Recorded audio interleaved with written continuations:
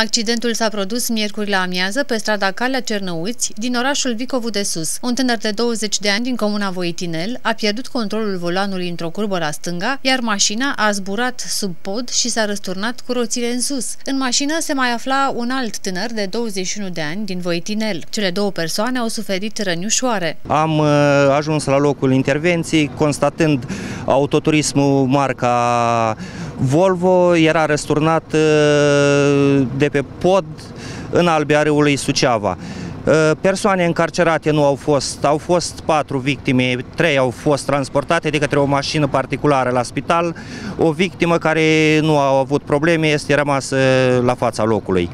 Am monitorizat zona, alte probleme deosebite nu au fost. Polițiștii au deschis un dosar penal pe numele șoferului pentru săvârșirea infracțiunii de vătămare corporală din culpă.